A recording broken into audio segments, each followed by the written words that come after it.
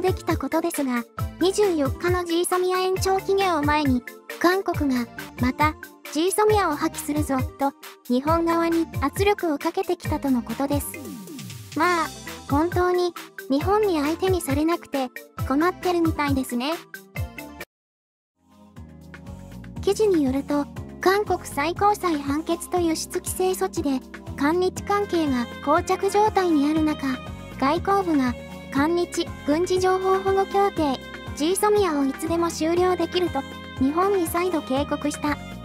外交通商部のイジウン副報道官は20日、政府総理庁舎で開かれたデイレイブリーフィングで G ソミアの延長期限が8月24日だが、政府が考えている措置は何かという記者団の質問に、韓国政府はいつでも韓日 G ソミアの効力を停止することができるという前提のもとで、昨年11月22日、韓日 G ソミア終了通報の効力を停止しているとし、しかし、日本側が輸出規制自由に提示した条件を韓国側が全て満たしたにもかかわらず、依然として措置を維持しながら、非協力的な態度を固守していると続いて、韓国政府は輸出当局者間協議再開を通じて、日本側が一日も早く輸出規制措置を現状復帰させることを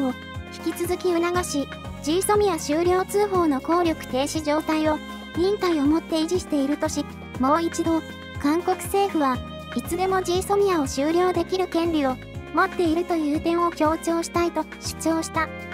イ副報道官はまた、輸出規制問題が解決されていないのは、事実上、日本政府が輸出規制と最高裁判決問題を連携しているためだが、両事案は別個に扱われるべきだとし、最高裁判決と関連して、私たちは今のように外交チャンネルを通じた問題解決努力を続けていくと述べた。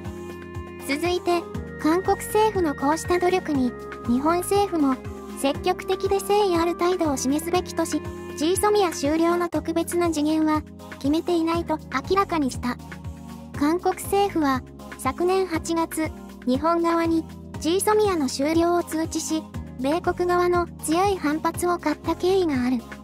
これによって、同年11月22日、世界貿易機関 WTO への提訴手続きの中止とともに、G ソミア終了効力を猶予した。とのことで、いつものことで、半分は、プロレス的なショーといった感じでしょうが、一方的に相手に呼びかけるという、相当虚しいショーになってますね。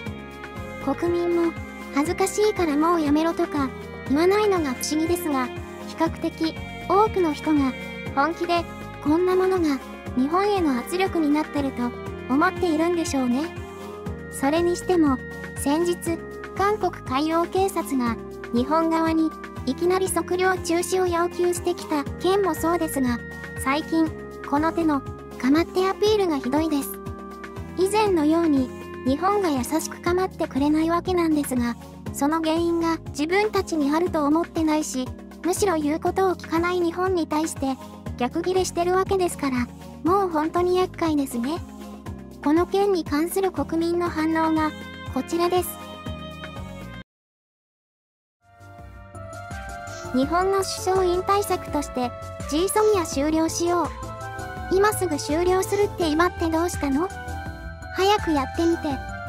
言葉で言う外交じゃなくて、行動でちゃんとやれ。これ以上日本にぐずぐずしないで、強く対応しろ。いくら日本が嫌いでも、米国と関連した G ソミアは、勝手に終了してはならない。付き合うことができない民族たち、口を開けば嘘をつく連中だ。日本の首相は、現在、韓国への輸出規制など、最近の支持率下落や、政策の失敗により、引きこもっています。とのことです。輸出規制問題が解決されていないのは、事実上、日本政府が輸出規制と最高裁判決問題を連携しているためだが、両事案は別個に扱われるべきだ。自分たちはいつも歴史の問題を外交問題に絡めているくせによく言いますね。日本が何か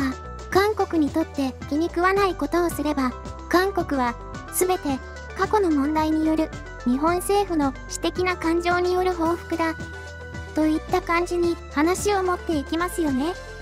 以前、中コロの感染を防ぐために、日本が韓国人の入国を禁止にした時も、他の国も同じように韓国を入国禁止にしたのに、日本は政治的な理由で入国禁止にしたと、日本にだけ報復したくらいですから。最近だと、WTO の提訴も、米国から WTO に提訴するような問題じゃないと、釘を刺されたにもかかわらず、政治的理由が原因だから、関係ないとまで言い出していますからね。おそらく、今後も、何か日本との外交において、都合の悪いことがあれば、政治的理由だの、日本の感情的な報復だの、言い出し始めるかと思いますが、もうまともに対話ができるレベルの相手じゃないですね。本当に、とことん甘やかされて育った子供みたいです。韓国の態度を見てると、そろそろ飴じゃなくて、無知的なものを与えてもいいのではないかと、最近つくづく思います。まあ、どうせ何やっても、恨みは忘れないわけですから、やるなら徹底してやってほしいです。今回はここまでです。最後までご覧いただき、ありがとうございました。チャンネル登録がまだの方は、ご登録よろしくお願いいたします。また、面白いニュースがあればご紹介します。